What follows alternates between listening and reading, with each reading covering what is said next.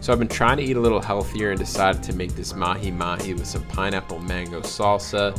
And it was fresh, it was good. We even topped it off with a little bit of chili lemon butter, which we're gonna make as well. So chopping up a avocado here and also a fresh mango that our neighbors hooked us up with. They got a nice mango tree in their yard, super fresh. And I'm chopping this all up with a knife from Freelanders Knives.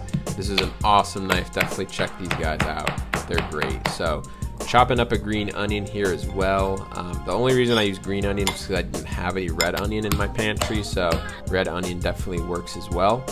So mix that up with some lemon juice and salt and you're good to go. Now we're seasoning up our fillets, getting those in the air fryer.